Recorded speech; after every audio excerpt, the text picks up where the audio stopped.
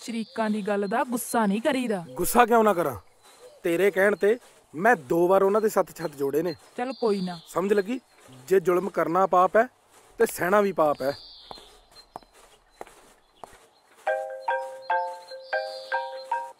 ਭਾਈ ਛਿੰਦੇ ਹੁਣਾਂ ਨੇ ਤੇਰੇ ਖੇਤ 'ਚ ਟਰੈਕਟਰ ਤਾਰ ਲਿਆ।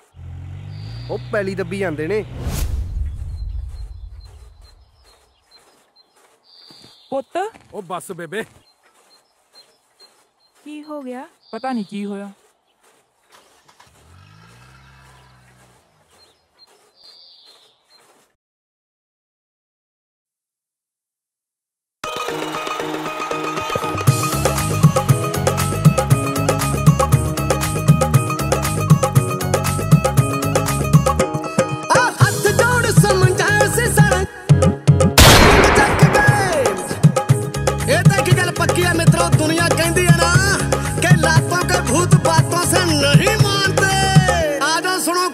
मैंने हर